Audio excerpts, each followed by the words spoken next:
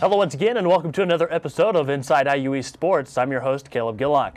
On today's episode we'll be talking about women's basketball as well as track and field and Franklin Christ will have another wolf tale for us. But joining me first Bailey Dreiman and Tia King from the women's basketball team. Thanks for joining me.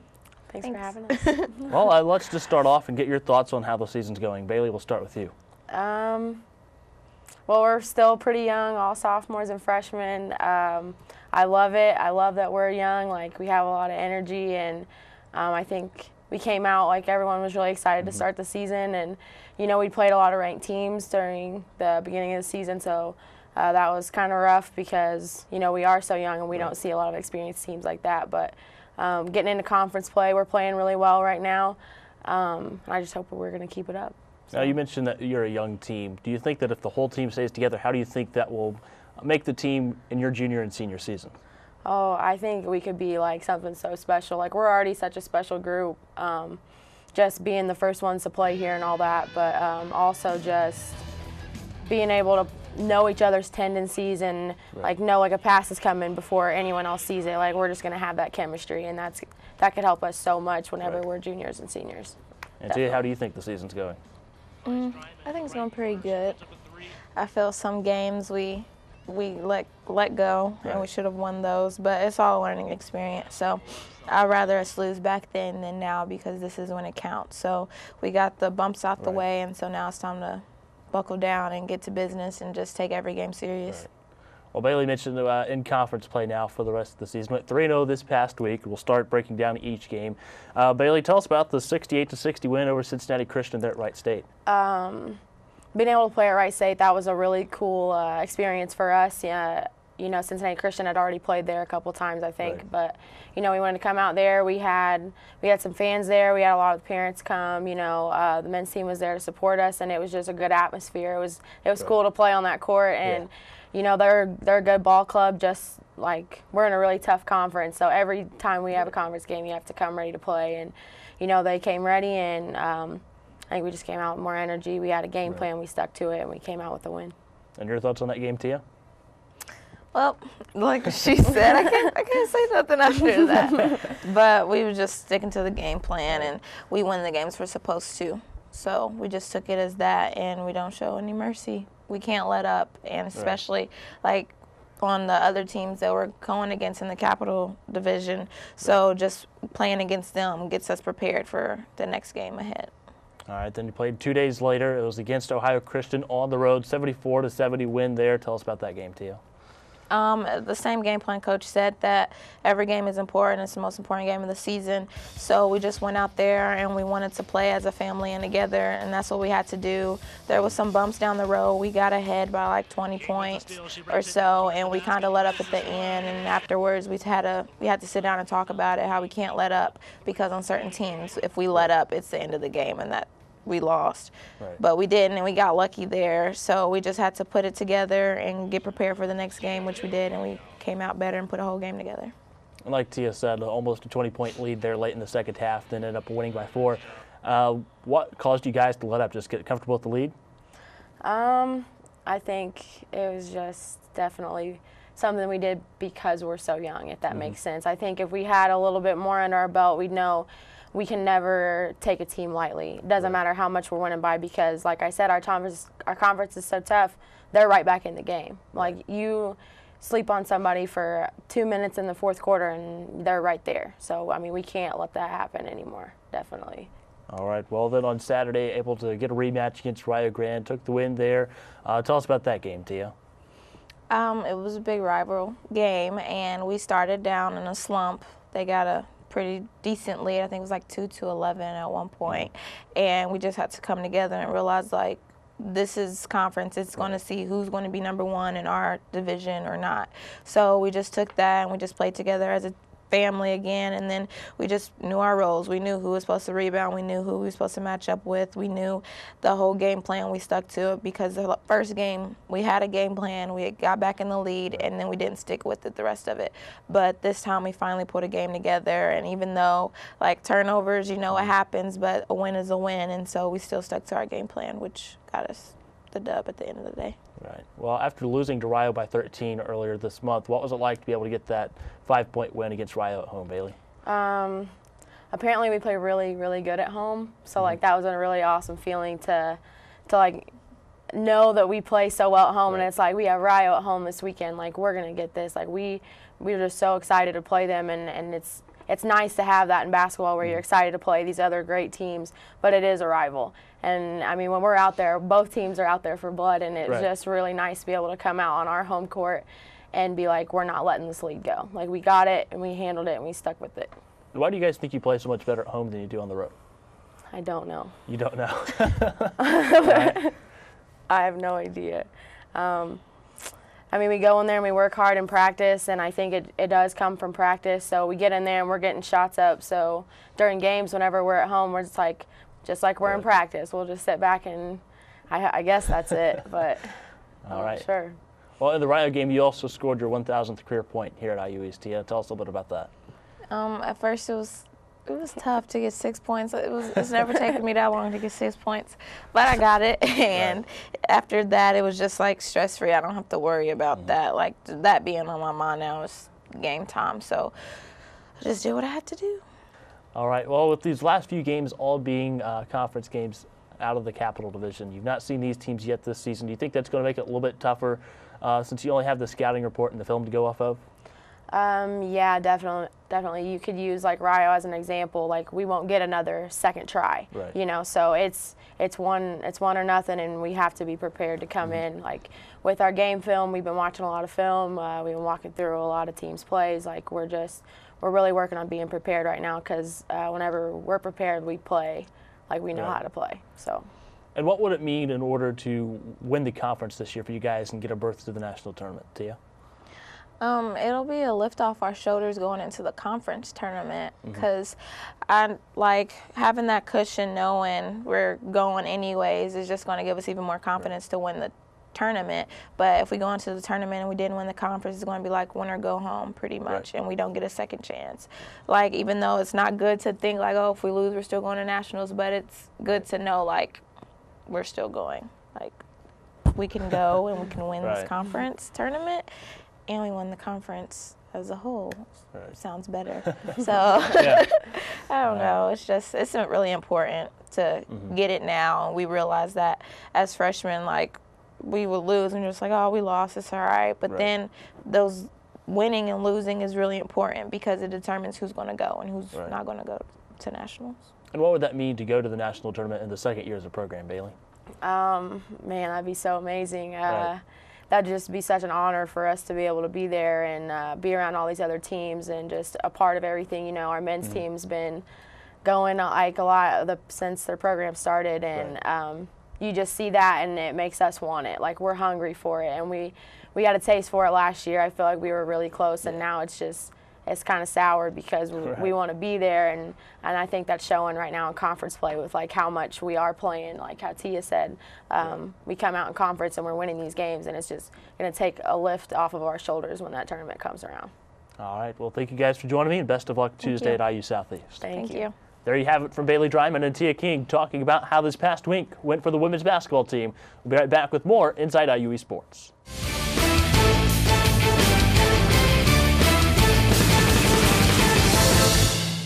This is where a busy mom can work toward a bachelor's degree from a top national university during softball practice.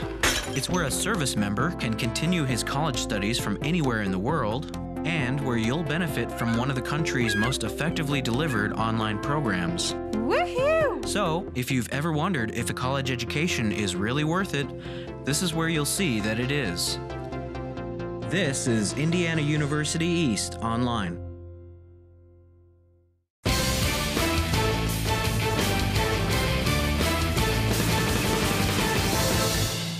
Welcome back to Inside IUE Sports. I'm your host, Franklin Christ, and joining me in this special edition of Wolf Tales today is Assistant Athletic Director Kyle Wright and voice of the Red Wolves, Caleb Gillock. G- guys, Uh, thanks for joining me this afternoon. Hey, no problem. Always a pleasure. Uh, also, in this uh, this segment here, we're going to talk a little bit about the KIAC standings for both the men's and women's basketball.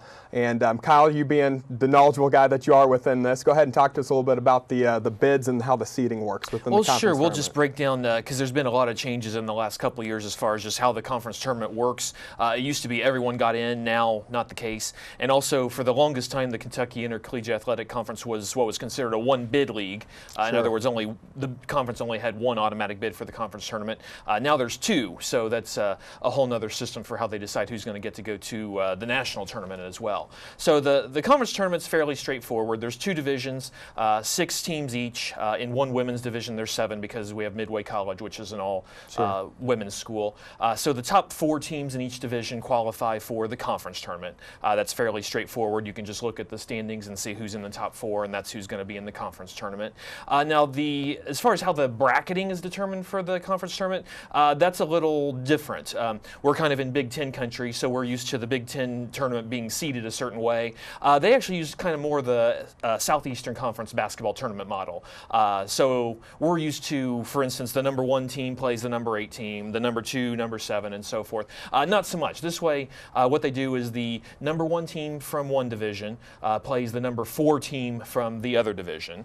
And then in the same half of the bracket, the second place team from what we're calling the other division plays the third place team from the first place team, and I know I've got a lot of numbers going, that's on the same side. So basically, if everything goes according to form, you've got the first place team from one division playing the second place team from the other division in the second round, and then the opposite happening on the bottom half of the bracket. Sure. So the idea is if the top two teams actually happen to be from the same division, they'll wind up in the conference tournament final. So Sure. uh, it looks a little convoluted, and I do wish I'd had a dollar for every time I've tried to explain it because I could uh, retire from, from Yeah, about yeah. every job. But, but uh, uh, for those that have grown up in SEC country, which uh, some of our Kentucky counterparts in the conference have, uh, that's something they've grown up with. But for us, since we've kind of grown up with the, the Big Ten model, it's a little much to, to wrap our minds around. Um, and I haven't even got to the part about how you go to the national tournament.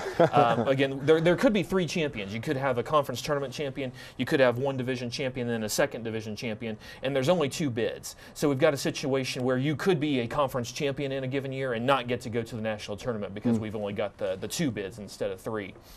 Uh, to be sure that you're going to the conf- to the national tournament, if you win the conference tournament, you're in. You're into the national tournament. If you are the division champion with the best conference record, you're in. You're going to the national tournament. Uh, where it gets fun is if that is the same team. Uh, so, because then we've got um, one team that's qualified for a bid two different ways, and we've still got another bid to figure out here. Sure. So, uh, if the team that uh, has the best overall conference record also wins the conference tournament, it's pretty straightforward. Uh, the other division champion gets the second bid. So, we've got uh, two teams that won championships, uh, they're going to the national tournament. Um, now, if the team that was not the best team in the regular season, uh, if someone else, anyone else but that number one seed, if they win the conference tournament, then uh, the what the team that was the number one seed, they get the bid. They get the other one that's what's left. Uh, we had an example of both last year in the men's and women's conference tournaments, which uh, IU East was a factor of both. Uh, on the men's side, IU East was the overall number one seed. Um, so we knew going into the conference tournament we were going to the national tournament. Uh, and it just so happened it came down to IU East and Point Park in the championship game. Uh, Brescia um, was the other division champion, so they were sitting there pulling harder for IU East probably than IU East was because if we win that game, they get that other bid. Uh, if IU East had lost, Point Park would have got the bid. We still go. Brescia was out of luck. So that was one way it worked. Okay. Uh, on the women's side, it was the opposite. Uh, IU East knocked out the number one seed, Rio Grande, in the semifinals. They probably weren't happy, but it wasn't the end of the world for them because they still had a, a bid to the national tournament going. So Yeah. what that set up was IU East against Asbury in the conference tournament championship game, uh, and that was a case where winner got the bid. Um, Asbury won the game; uh, they got the other bid. If IU East had defeated Asbury, uh, we would have gone. Uh, Rio Grande still would have gone because they had the number one overall seed, and Asbury would have been out of luck. So Sure. uh, that kind of covers all the possible scenarios. Again, wish I had a dollar for every time I've gotten to explain it. So if you're watching and enjoying this, uh, you can send a send the, the cash payments my way because uh, uh, we've gotten to explain this quite a bit. check payable to, to Kyle Wright. But Yes. uh, Kyle or um, Caleb, we got a chance to do a show actually back Right. before the uh, the conference season had started. Um, I know it's it's probably tough to kind of look back and remember those Right. picks per se, but uh, are there really any surprises um, on IUE side in the capital or I'm sorry the uh, Colonial Division that really stick out to you right now? Not really a whole lot. I mean, the I think we all kind of anticipated both IU East and Point Park being up at the top. I know we also talked to Ohio Christian, uh, the WVU Tech teams. We thought they would be a little bit higher up there too. Uh, Sure. Obviously, Ohio Christian's been a team to be reckoned with this season. Uh, IU East just lost to them by I think what six this past week. so um, obviously they're a team that can't. that They're not eligible for the conference or national tournament, but a big team that we uh, I think we all expected to see a lot out of this year. Yeah, and I think rightfully so. They they got a lot of uh, respect in the preseason poll Yeah. As well on the men's side, and um, I think they've been a, a pretty good addition to the conference. Um, but uh, what do you, what do you see going forward for IU East? What do you think they've had to do now? They've had to, to battle some issues with um, you know some with players uh, not being on the team anymore, and you know some other things, health issues. Um, but what do you what do you see their future looking like coming down towards the end of the stretch of the season? Well, obviously, I mean, there's what five games left here in the season coming Sure. up. So the big thing is just going to be, you know, winning all five of those games to lock in that berth to the national tournament. Uh, obviously, if you're an IU East fan, but uh, you know, you've got the Asbury game. That's going to be a big game. Uh, even the Alice Lloyd game. I mean, they're they're a team that's, you know, you don't hear a whole lot about them yet this season, but they're also up there in the Capital Division, so it's going to be a team to look out for. But like you said, uh, with some of the adjustments that's been made with some of the players and stuff, big deal is just going to be everybody coming up and showing up to play at every game. Sure. And uh, on the other hand, avoiding injuries at the same time too. Sure. Now let's flip it over to the women's side on the, the Colonial Division again, the the uh, division that IU East is in. Um, we both did not have them at number one, and right now, you know, playing playing very well, um, in my opinion, and opinion of a lot of the you know the coaches and uh, you know people that really follow the KIAC. So uh, for the both of you guys, what do you what do you see um, has been something that they've really done that's really propelled them into that number one spot? Uh, one thing with the, it's really been more or less the same team for two years now, and Sure. uh, IU women when they play well, pretty much they win regardless of the opposition, and uh, the, the opposite happens to be true as well. When they don't play well, uh, they can pretty much lose on any given night. But uh, when they play well, they win. They kind of figured that out in the conference tournament last year, pulling off a couple of what on paper were upsets uh, to reach the conference tournament championship game, and uh, in what have been some of the bigger games, which to us uh, the two Point Park games, and then uh, really both uh, Rio Grande games, even though one of those uh, got away. Uh, if you look at stat wise, IU East has played well, and, and they're a team where.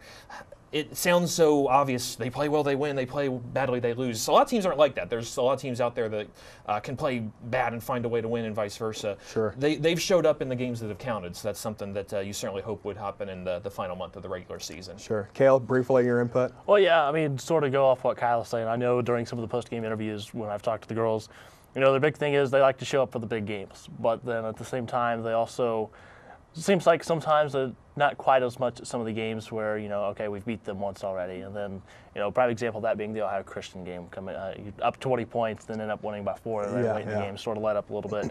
I mean, every game here on out is going to be a big game for the women's team. So, Sure. I mean, it'll be interesting. Just like Kyle said, you know, they've definitely showed up in the big games this season, though. Sure. Well, guys, I uh, appreciate the both of you joining me today, um, your, your input on the conference tournament and, and so forth. And uh, for those of you following Wolf Tales, we'll see you again next time.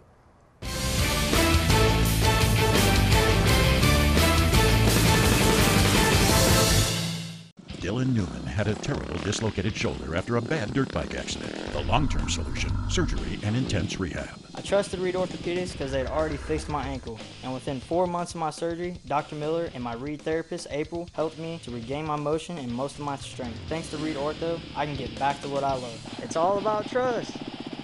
Right, Dr. Miller?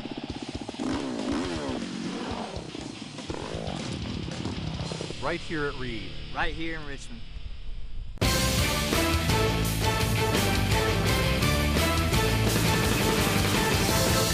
And welcome back to Inside IUE Sports. It's time to talk about track and field with some of our track and field runners. Uh, Seth Reynolds and Trisha Spivey, thanks for joining me here today, guys. Thanks for having us. Well, I'll just start off by telling us a little bit about your high school careers and uh, what all brought you here to IU So We'll start with you, Trisha. Um, so I've been doing track since uh, middle school, and it's just something that I really like to do. It's something I've uh, I'm really passionate about, and I wanted to continue that on in college. So Do you have any other hobbies outside of track? Not really. That's Not it. really? That's track. it? What about you, Seth? Uh, I started running track my junior year. Uh, I turned out to be pretty good at it, making it to state my first couple years. And then I decided that that's something I could continue to build on. So I decided, and IU East was close. so I decided to go to IU East. All right. So what made you choose IU East? Um, I've heard really great things about their nursing program because Mm-hmm. I, I would hope to be in that, and it's close. It's better for me financially, and it's just it's a really good deal. It's a Right. good school. Now, with both of you being in the nursing program, how do you guys how are you guys able to balance nursing and being an athlete? Seth? Uh, I think that it, uh, the way that our practices are set up, how we have early practice in the morning, it gives us a lot of free time throughout the day to be able to do our homework and study. So it actually helps a lot having the early practices. Right. Yeah, most definitely. No room for procrastination. right. All right. Uh, well, let's uh, just start uh, out by talking about this past Trine meet. Uh, tell us tell us a bit about how it went. Um, for me personally, it wasn't my best meet. Um, I really hoped that I would get some better results than what I did, but I was able to finish third um, out of the, I think there were 11 girls there approximately. And with five feet, it wasn't my best, but I know that I, I learned a lot from it, and so I'll be able to take that with me to my to the meet at Anderson University Right. um, next Saturday. But that's basically it for me. And how did the women's team do as a whole? Um, I really don't know. I, Okay. I think Gotta we. d- appreciate an but- honest answer. Yeah, I, I don't know, but I know that we had some really good individual scores.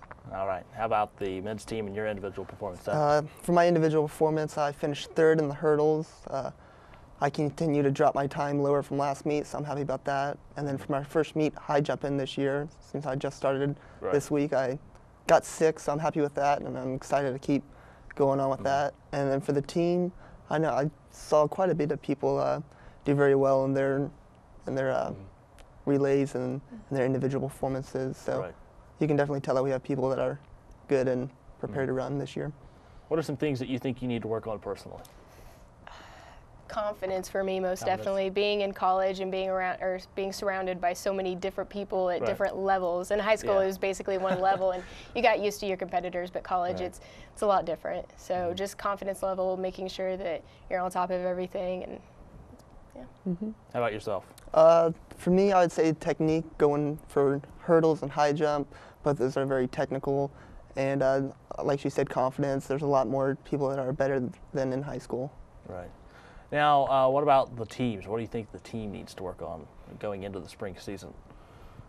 That's all you. Oh gosh. um, well, around this part of the year, it's kind of hard to stay enthusiastic about everything with 5 a.m. practices every morning and, you know, coach killing us like he did this morning. We're, we're all tired and we're all dead, but, you know, just bringing that out, we need to fight past that and make sure that we get to where we want to go. All right, and that's going to help you later on down the road, Oh, especially yeah. in the spring season. Oh, right? yeah, most definitely. All right. What do you think some of the things the guys team needs to work on? Uh, some of the things that I guess we could work on is, uh, I got no idea. You have no idea. No. okay. it's a tough one. All right. Well, uh, we'll go ahead and go on. Uh, take a look at the Anderson meet coming up. Uh, what do you expect to see there? Yeah, um, I expect everybody to have really good individual results. We've wor- all worked really hard to get where we're at, and I think we're just going to put a good final end to our indoor season. All right. How about you? Uh, through the past two meets, I see everyone's times improving. I expect it to improve again through Anderson. Uh, we had some really good results, and I think people are going to be really motivated to break some records in our last indoor meet because I know our 4x4 team was really trying hard to break that record. So hopefully they can get to this meet. And how do you think that uh, being able to go to these indoor meets this winter, how do you think that's going to help you guys coming up for the spring outdoor season? Start with you. Uh, I think that it's going to really like prepare us because we already have the momentum coming in from the indoor season, mm-hmm. and we've been already running. Because I know previous years we haven't had many indoor meets, so we're going to be a lot more prepared this year. Mm-hmm. Mm-hmm. And how about It's you? a really big confidence booster. We've already been there. We've done a few meets, so going in outdoor, we'll be we'll be ready. All right. So outside of track and nursing, what are some other things that you guys are involved in? I play basketball when I get the chance again? to. That's Alright. my favorite thing to do on campus. All right. I really enjoy trying to get games going with friends. Just go down to the graph and play. Is that what you do? there? Yep. All right. So you're gonna try to get on that three-on-three tournament coming up? Yeah, then? Yeah, you'll see me. All right. And what about you? Um, I don't know. I I'm a part of SAC here at Okay. IUE, so that's something that um, I like to be involved with. And but other than that, not really anything with school and with track. I, I don't have a lot of time to do a Right. lot of other stuff. All right. Well, I thank uh, both of you for joining me here today, and best of luck coming up at the Anderson meet coming up. Thank you. Thank you. All right. Well, there you have it from Seth Reynolds and Trisha Spivey talking about how the track season went at Trine and a look ahead to Anderson. We'll be right back with more Inside IUE Sports right after this.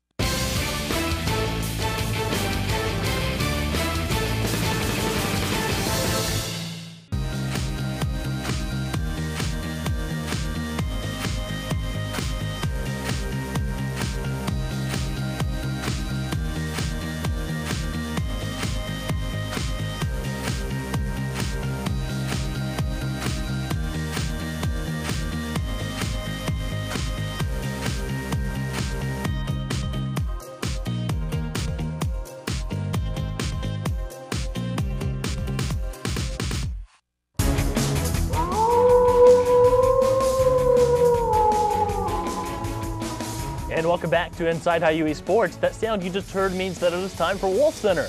Wolf Center is where we take a look back at last week's IU East results and ahead to next week's schedule. You can download the Wolf House sound you just heard for free by downloading the free IU East Athletics app at the iTunes App Store or at Google Play. Now let's take a look back at last week's IU East results. On January 26th, the women's basketball team defeated Cincinnati Christian 68 60. Kerrigan Ehoff had 19 points along with 15 rebounds. Also on January 26th, the men's basketball team defeated 25th ranked Cincinnati Christian University 73 to 64. Lashe Davis had 15 points, 6 rebounds, and 5 assists. On January 28th, the women's basketball team beat Ohio Christian on the road 74 to 70. Bailey Dreiman had 15 points and 7 rebounds for the Red Wolves.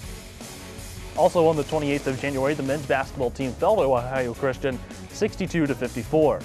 Lucas Huffman had 11 points for IU East.